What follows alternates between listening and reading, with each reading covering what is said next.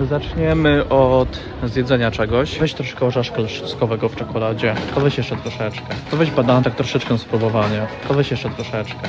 I jabłka z, podobnie, z 3-4 by było. To tak troszeczkę spróbowanie. To weź jeszcze troszeczkę. To weź jeszcze... Masz. Nie mam.